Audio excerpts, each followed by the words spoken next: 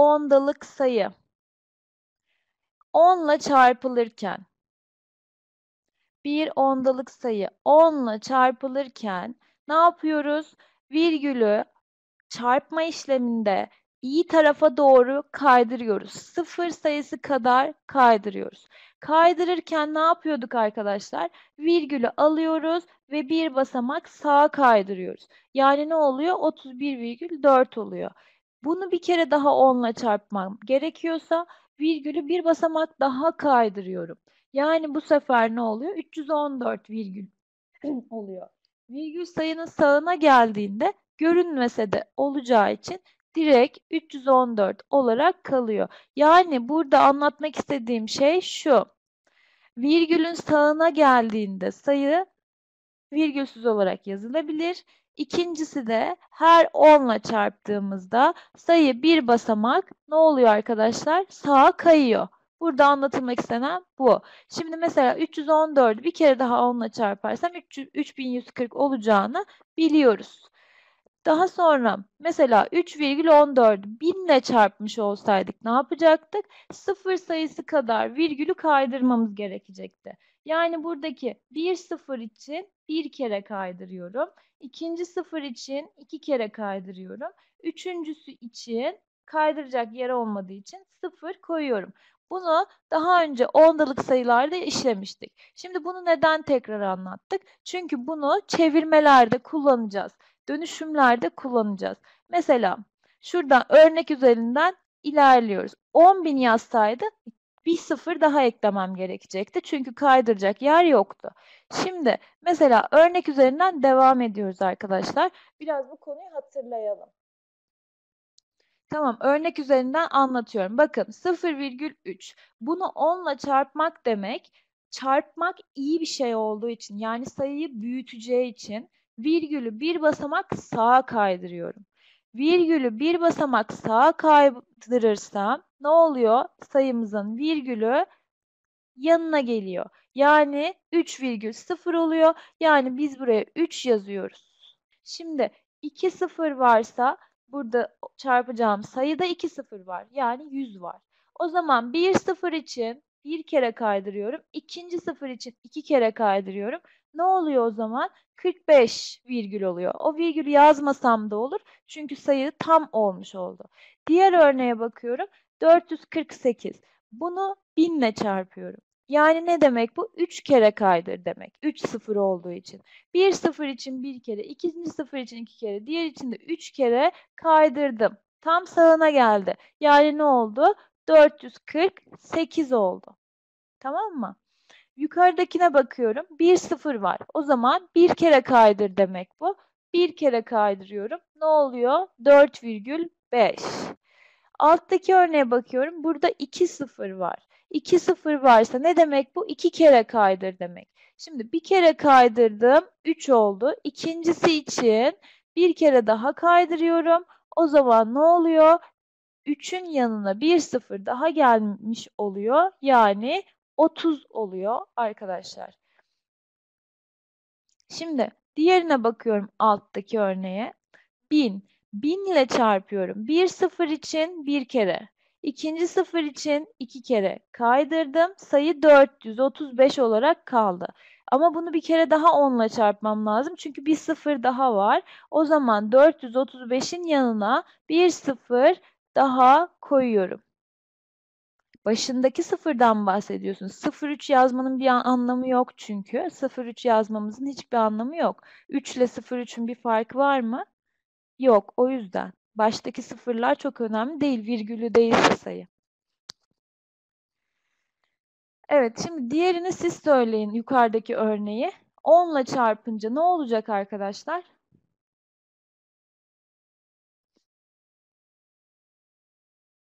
Yani evet bir virgül kaydırıyoruz sağa.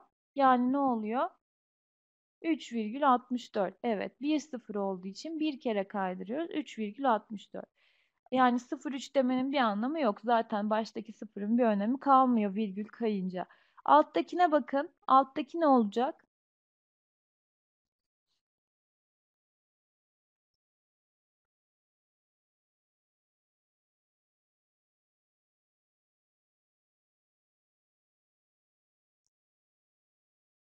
Evet, alttakinde de 2 sıfır olduğu için 2 kere kaydırıyorum.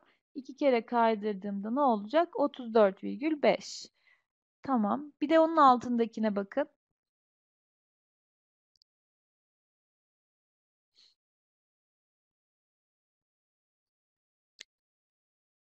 Şimdi arkadaşlar burada şunu kaçırıyoruz. Virgül kalkınca kaldırıyoruz virgülü. Yani virgül sayının sağına gelince kalkıyor. O yüzden şimdi 1 0 virgülü kaldırdı. Yani ne oldu? 4 oldu sayımız. O yüzden 4'ün yanına bu 1 0'ı kullandım 4 yapmak için. 4'ün yanına 2 0 koyuyorum. Ne oluyor? 400 oluyor. Yani virgül sayının sağına geldiğinde kalkıyor. Virgülü orada yazmamızın bir anlamı yok. O yüzden 1 sıfırı sayının sağına getirmek için kullanıyoruz. Daha sonra virgül sayının sağına geldiğinde kalkıyor ve 2 sıfır yanına geldiğinde 400 oluyor. Tamam mı? Evet o yüzden cevabımız 400. Şimdi alttaki örnek üzerinden bunu nasıl bizim konumuzda kullanacağız onu göreceğiz. Şimdi birinci örneği beraber yapıyoruz. 125 metre kilometreye çevirecek. Metreden kilometreye kaç basamak var arkadaşlar? Metrenin bir üstüne çıkarsam dekametre, dekametrenin bir üstüne çıkarsam hektometre, hektometrenin bir üstüne çıkarsam kilometre. Kilometre olmuş oldu. O zaman arkadaşlar 3 basamak var. Demek ki 3 basamak yukarı çıkacağım. 3 basamak yukarı çıkmak ne demekti? Her basamakta 10'a bölersek neye bölmüş oluyoruz? 1000'e bölmüş oluyoruz. Yani 125'i ne yapmam gerekiyor? 1000'e bölmem gerekiyor. Peki 125'i nasıl 1000'e böleceğim? Bunu ben kesir olarak yazabilirim. 125 bölü 1000 şeklinde kesir olarak yazabilirim. Kesir olarak yazdığımda 125 bölü 1000 yazdığımda e, da olabilir. Ya da 125 bölü 1000'i ondalık olarak nasıl yazabilirim? Hatırlarsanız nasıl yazarız? Virgülden sonra 3 basamak olacak şekilde virgülü koyuyorduk. Çünkü 1000 olduğu için virgülden sonra 3 basamak olacak şekilde virgülü koyuyoruz. 0,125 olarak yazıyoruz. Yani aslında bu konu ondalık sayılar konusu. O konuyu anlayan burada sıkıntı yaşamaz. 2 milimetre kaç metredir? Şimdi milimetreden metreye yukarı çıkıyorum. Yukarı çıkarken ne oluyor arkadaşlar? Santimetre, desimetre, metre. Kaç basamak çıkıyorum? 3 basamak. 3 basamak çıktığım için, her basamakta 10'a böldüğüm için benim 2'yi kaça bölmem lazım? 2'yi 1000'e bölmem lazım. O zaman ne yapıyorum buraya? 2 bölü 1000 yazıyorum. 2 bölü 1000 arkadaşlar ondalık olarak nasıl yazılır? Neydi buradaki kuralımız? Virgülden sonra 3 sıfır varsa 3 basamak olacaktı virgülden sonra. O zaman virgülden sonra 3 basamak olacak şekilde yazıyorum. 0 tam olduğu için 0 virgül. 3 basamak çiziyorum. 0, 0, 2 olarak yazıyorum.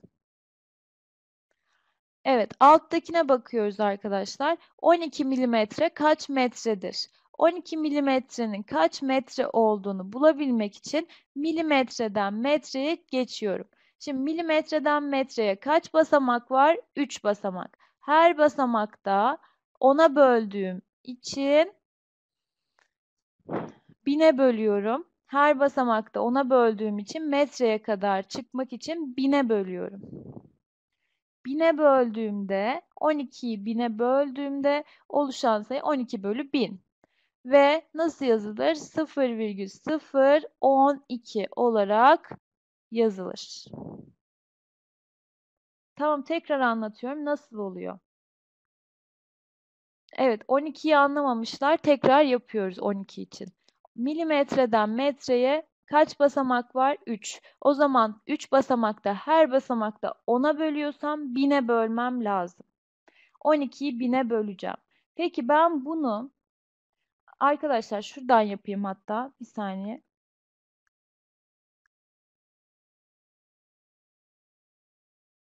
Bakın ben bine bölüyorum. 12'yi milimetreye çevirmek için bine bölüyorum. 12 bölü 1000.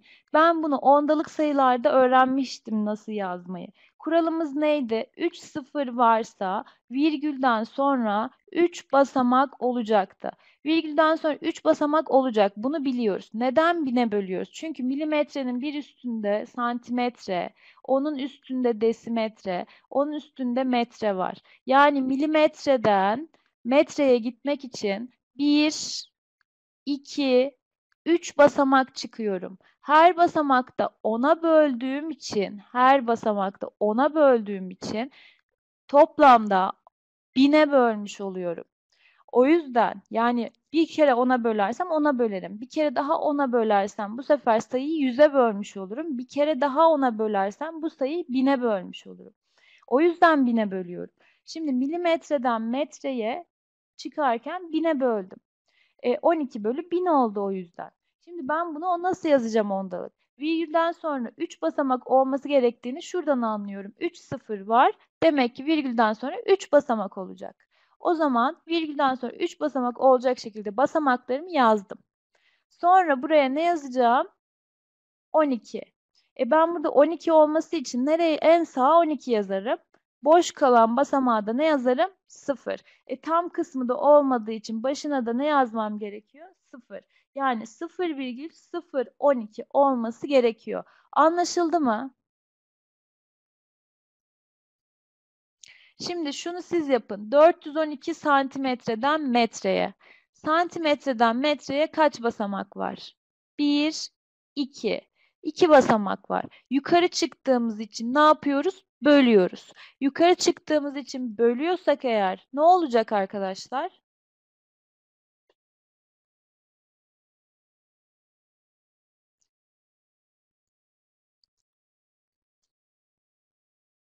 Evet, ne yapmış olacağız? 412'yi 100'e bölmüş olacağız. 412'yi 100'e bölerken 412 bölü 100 yazsak olur. Ya da bunu nasıl yazıyorduk ondalık olarak? Virgülden sonra burada demek oluyor ki iki basamak olacak. Şuradaki işaretler sıfır sayısı bana virgülden sonraki sayıyı gösteriyor. Demek ki virgülden sonra iki basamak olacak. O zaman ben 412'yi virgülden sonra iki basamak olacak şekilde yerleştiriyorum. Ne oluyor? 4,12 oluyor. Evet öyle de yapabilirsiniz. Tam sayılıya çevirirseniz 412 bölü 100'ü 4 tam yüzde 12 olur. 4 tam yüzde 12'de nasıl yazılır? 4 tam yüzde 12'de 4,12 olarak yazılır diyoruz. Böyle de yapılabilir. Alttaki örneği yapalım. 83 santimetreyi metreye çevirin bakalım. Bu zaten 83,0. Yani sayının bu ondalık sayılar konusunda anlattığım bir kısım şu şekilde yazılması, şu şekilde yazılması hep aynı şey. 83,00 demek 83 demek zaten. Yani 83 tam demek. Bundan sonra virgülden sonraki sıfırın bir anlamı olmadığı için hiçbir farkı yok 83 ile. Şimdi 83 santimetreyi nereye çevirmemiz gerekiyormuş? Metreye. Santimetreden metreye gidiyorum. 1, 2. 2 basamak yukarı çıktım. 2 basamak yukarı çıkıyorsam eğer ne yapmam lazım? 100'e bölmem lazım. Yani ne olması lazım? 83 bölü 100 yazmam lazım. 83 bölü 100 de nasıl yazılır? 0,83 olarak yazılır. Çünkü virgülden sonra iki basamak olması gerekiyor. Birinci örnekten beraber yapmaya başlayalım. Şimdi birinci örneğe bakıyoruz. Biz bunu dün yapmıştık. Hatırladınız mı bilmiyorum ama dün bu konu üzerinde birazcık durmuştuk. Ee, bazıları anlamamıştı. O yüzden ilk örneği ben yapayım. Şimdi 621 santimetreyi metreye çevireceğiz. Santimetreyi metreye çevirmek için neydi? İki basamak yukarı çıkıyorduk. İki basamak yukarı çıkmak ne demekti? 100'e böl demekti. O zaman 621'i 100'e bölüyorum. Yani içinde kaç tane yüzlük var? Onu bulmak istiyorum ki onu metreye çevireyim. O yüzden 621'i santimetre olduğu için 100'e bölüyorum. 100'e böldüğümde 621'in içinde kaç tane yüzlük varmış? 6 tane yüzlük var. O zaman ben bu 6 yüzlüğü metreye çevirebilirim. Yani 6 metre yazıyorum. Kalanı da santimetreye yazıyorum. Yani 6 metre 21 santimetre oluyor. Tamam. İkinciyi siz yapın o zaman. B şıkkını. Evet. Ne yapacağız arkadaşlar? Yine santimetreyi metreye çevir dediği için bunu yüze böleceğiz. Yani 1348'in içinde kaç tane yüzlük var? Onu bulacağız. Yüze bölüyorum. Ne oluyor? Burası 13. 13 tam oluyor. O zaman 13 metre diyorum. Kalan 48'i de santimetreye yazıyorum. 13 metre 48 santimetre oluyor. C şıkkını yapın bakalım.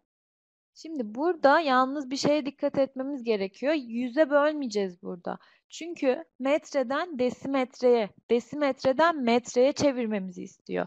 Desimetreden metreye çevireceği için kaç basamak var arkadaşlar? 1.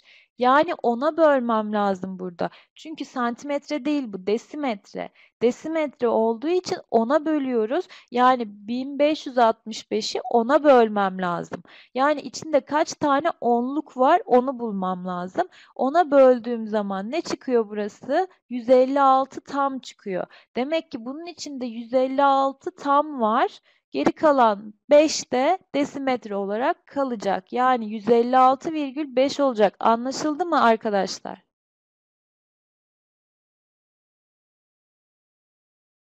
Anlaşıldı mı? 15 yazanlar e, bunun desimetre olduğunu dikkat ediyorlar. Diğer soruya geçelim. Ç'ye.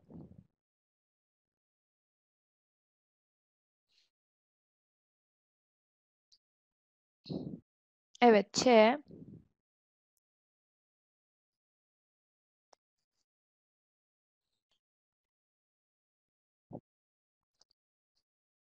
Evet. Burada da desimetre. O yüzden burada da ne yapmamız gerekiyor? Yine içinde kaç tane onluk var onu bulmamız lazım. Yani 6548'i 10'a bölmemiz lazım. 10'a böldüğümüz zaman ne oluyor arkadaşlar cevabımız? 654. Yani içinde 654 tam var. 8'de kaldığı için 8 desimetre olarak yazıyoruz buraya. D şıkkını yapın bakalım.